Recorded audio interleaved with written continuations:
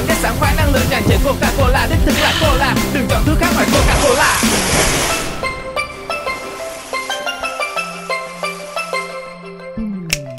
Đây mới đích thực là Coca-Cola.